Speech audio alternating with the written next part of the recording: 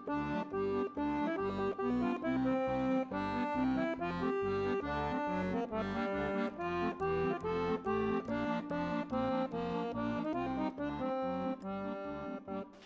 sa Mária Čerengová, bývam pri Bevciach, aj som sa tu narodila.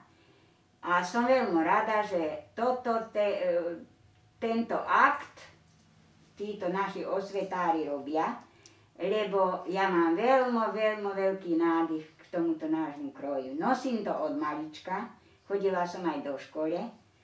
Tom aj rozprávať budem takto ako po príbevsky, lebo budú mi hada rozumieť.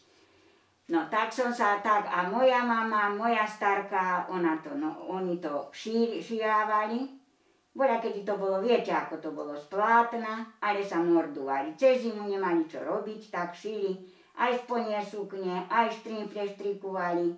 Všetko si vedeli sami je ušiť. No a, a ja som to zdedila asi po tých mojich po starkej aj po mame, lebo aj oni nemali radi hodzakú robotu. To muselo vyzerať.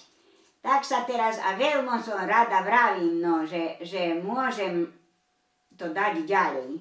Aj môžem zveľadiť dievčence.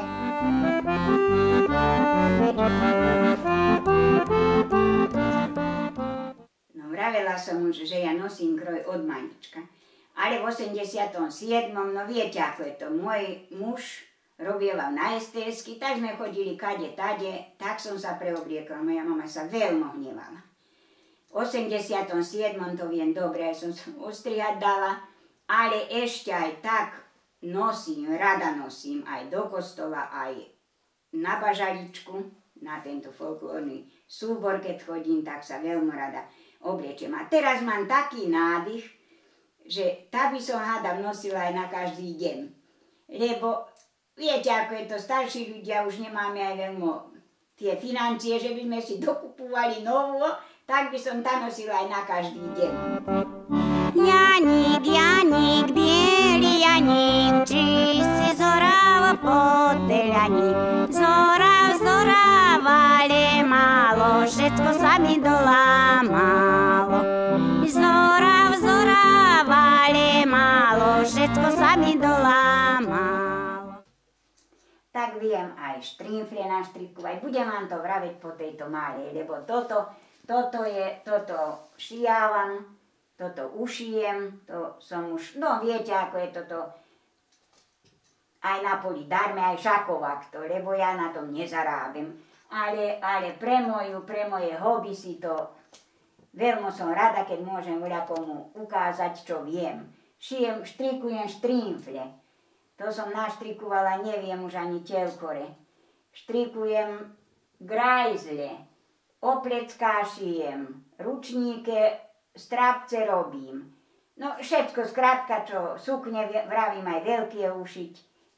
Fertuške, ľajblíke, no ešte čo. Čo, čo potrebujeme, tak to, to viem všetko spraviť, ďakovať Bohu.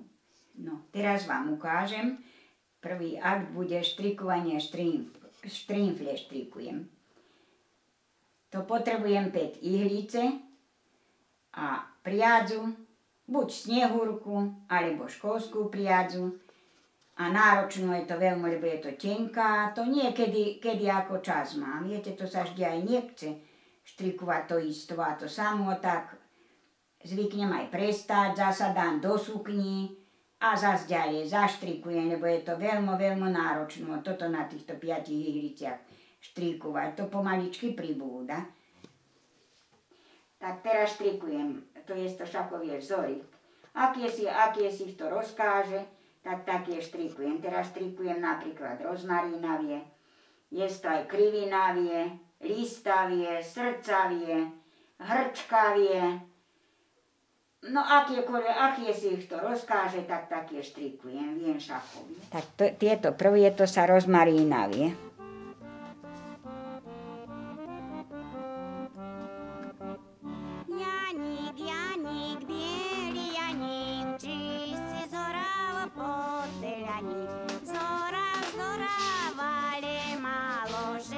Všetko sa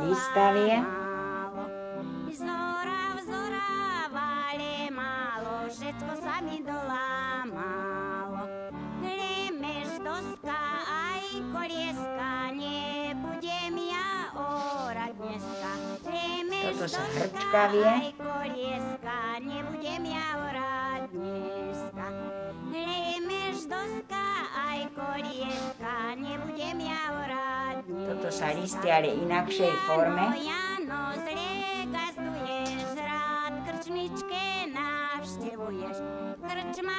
Na tretia brázda, z tebe bude mrchá. Toto som začala srdcavie, ale sa ešte Krčmárky na tretia brázda, z tebe bude mrchá.